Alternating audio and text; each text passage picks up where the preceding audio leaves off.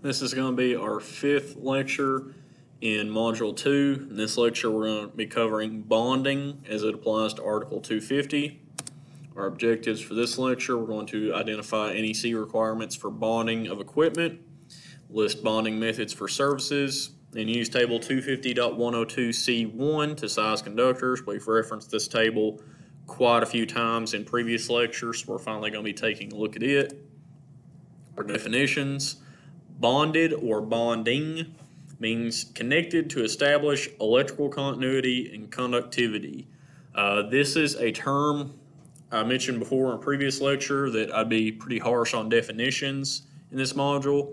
Uh, this is a perfect example of why uh, the term bonded gets replaced with grounded uh, quite a lot. You'll often hear, you know, that you need to ground a metallic enclosure or ground a raceway when in reality what you're doing is you are bonding that enclosure or that raceway to the grounding system. Often a bit of confusion there. And inter-system bonding termination, a device that provides a means for connecting inter-system bonding conductors for communication systems to the grounding electrode system. This is a big, fancy sounding uh, term and a big, complicated sounding definition. Essentially, a inter-system bonding termination is a device that we install on the grounding electrode uh, system so that communication systems can bond to the grounding electrode system is the simple definition. Starting off here, we're going to be taking a look at Article 250, Part 5, Bonding. Part 5 covers bonding requirements for different locations in the electrical system and for different pieces of equipment. So depending on where we're at in the electrical system, you know, whether we're at the service or branch circuit, and depending on what type, if we're working on different pieces of equipment, we have different rules in regards to bonding requirements. Bonding must be provided where needed to maintain electrical continuity and to conduct any fault current that may be imposed. So way back in our first lecture, we went over the five requirements that we that we need to meet in terms of grounding a system.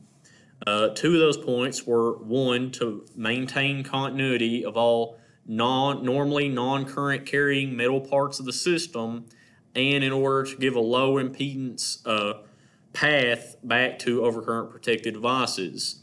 We accomplish that by means of bonding. So starting off at our equipment bonding, we're going to start at the electrical service at the service equipment. Kind of a logical place to start at. Normally, non-current carrying parts of the following must be bonded together. All raceways, cable trays, gutters, etc. that contain or enclose service conductors unless otherwise permitted by 250.80. All enclosures that contain service condu- uh, sorry, and all enclosures that contain service conductors.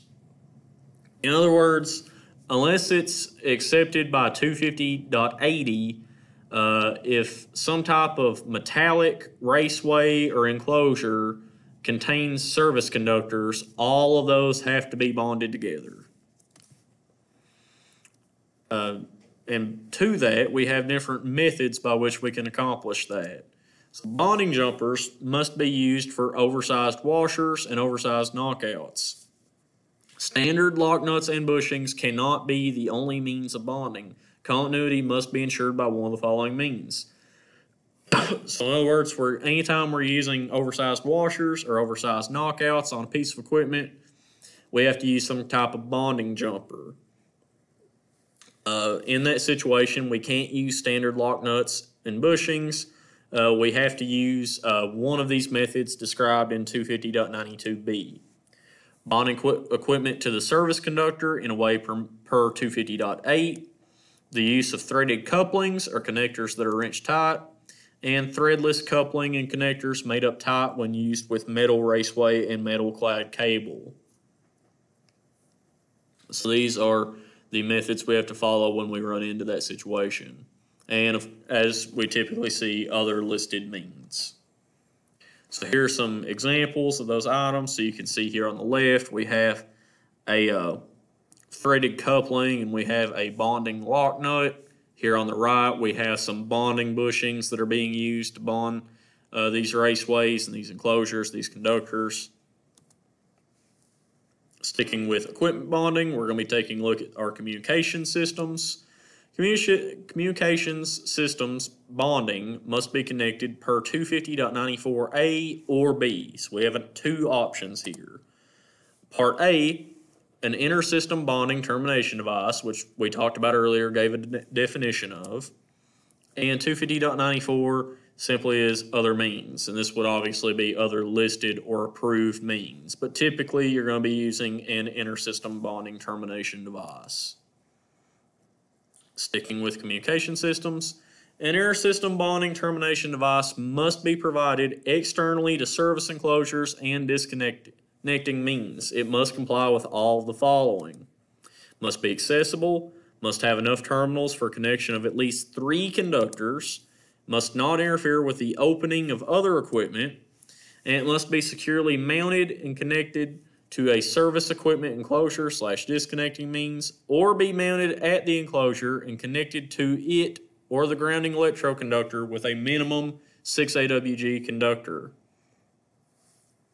So in other words, we have to have a intersystem bonding termination device at the service. It has to have at least, it has to have enough terminals for at least three conductors, can interfere with other equipment opening, and has to be mounted or connected directly to the equipment enclosure or the disconnecting means, or it must be connected to it using a grounding electrode conductor.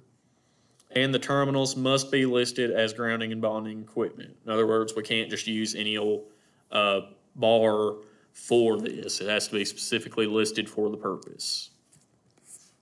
Aside from our service enclosures, we're going to talk about other enclosures here.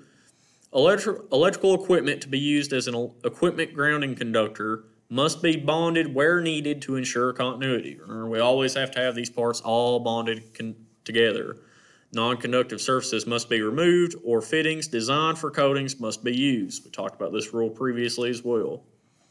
For circuits over 250 volts to ground, raceway and metal cable sheaths must use one of the methods in 250.92b other than B1. We talked about those options before uh, when we're talking about service equipment, but here we see for circuits over 250 volts to ground, we have an additional, we have to follow those methods as well. Talking about our supply side bonding jumper, we talked about this back in our uh, lecture on separately derived systems. Supply side bonding jumpers cannot be smaller than as shown in table 250.102C1. We've talked about this table on several different instances so far through this module. Where parallel ungrounded conductors are used in multiple raceways and individual bonding jumpers are used for each raceway, the bonding jumper size must be based on the conductor in each raceway.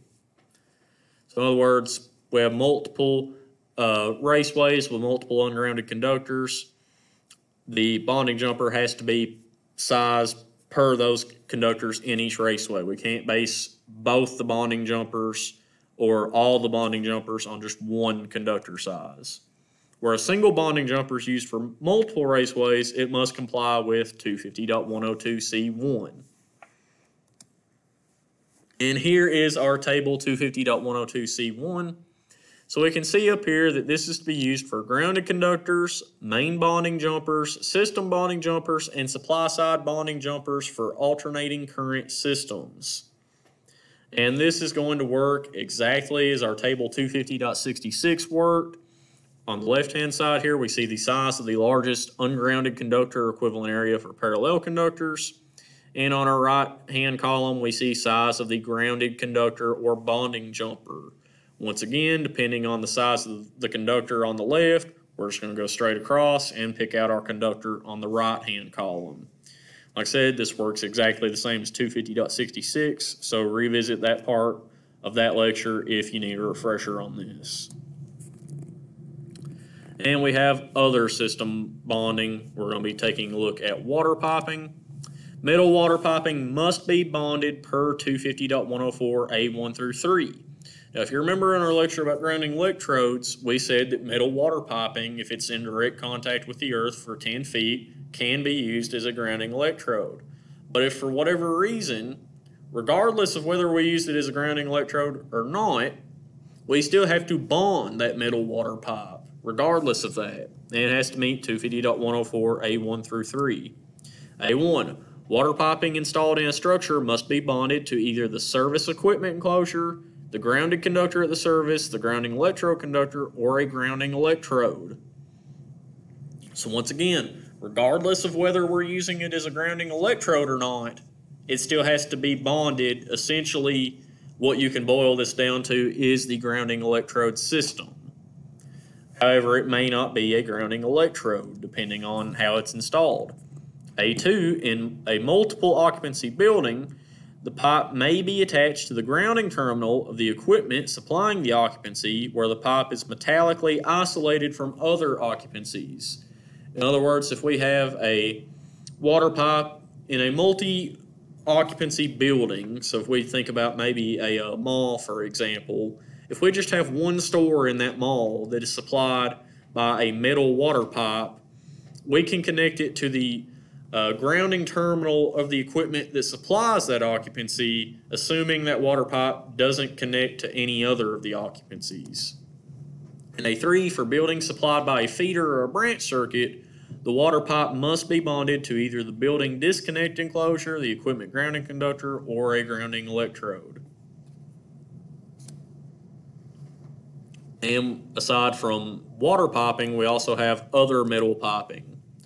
Other metal piping systems, including gas piping that is likely to become energized, must be bonded to one of the followings. As I mentioned in our grounding electrode lecture with gas pipe, we cannot use gas pipe as a grounding electrode. However, we are required to bond to it. And the idea of this is that if that gas pipe, if current a current carrying conductor makes accidental contact with that gas pipe, we want to open the overcurrent protected device that is per, that is upstream of those current carrying conductors connecting to that gas pipe. And the only way we can do that is if from that gas pipe we provide that low impedance return path for that current. Remember, the main reason we do grounding and bonding is for that low impedance path. Otherwise, if we didn't do that, then that gas pipe would become electrically energized and current carrying. Uh, so, but back to this, must be bonded by one of the following means. The equipment grounding conductor of the circuit that may energize it, the service equipment enclosure, the grounded conductor at the service, the grounding electrode conductor, or a grounding electrode. The bonding conductor or equipment grounding conductor must be sized per table 250.122. So all these are pretty self-explanatory. Um, we'll say, so for example, on the equipment grounding conductor of the circuit that may energize it, if you think about a, a natural gas range in a dwelling, for example, those often have an electric pilot light installed, so you can just walk up to them, turn a knob, and turn and ignite the gas. That's typically going to be fed by a branch circuit of the electrical system. So you would, as it would be fairly likely that in a atypical situation, that circuit could energize the gas pipe. You could use the equipment grounding conductor of that pilot light cir circuit to bond to that gas pipe. Here we have structural metal. Exposed structural metal that is connected to form a, a metal building frame that is not intentionally grounded or bonded and is likely to become energized must be bonded using one of the following methods. So once again, we can use structural metal steel as a grounding electrode, but in the event, for whatever reason, we don't use it, you know, maybe it's not in direct contact with the earth, earth enough to count, we still have to bond it. So we can use the service equipment enclosure, the grounded conductor at the service, the disconnecting means for a building supplied by a feeder or branch circuit, or the grounding electrode conductor, or a grounding electrode. And that concludes this lecture. In our next session, we're going to be talking about equipment grounding conductors, and that will conclude the lectures for Module 2.